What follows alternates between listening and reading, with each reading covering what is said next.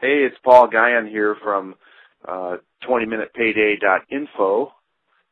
And uh, I just thought I'd let you know a little bit about the uh, 20 Minute Payday product that just was released today uh, by Russell Brunson.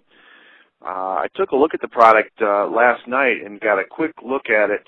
Uh, there's some killer content in there, some training, basically a bunch of videos.